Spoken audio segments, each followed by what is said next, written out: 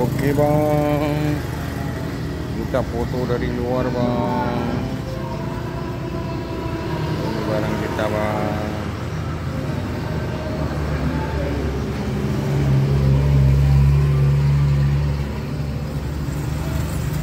Oke bang. Kita menjual barang-barang second.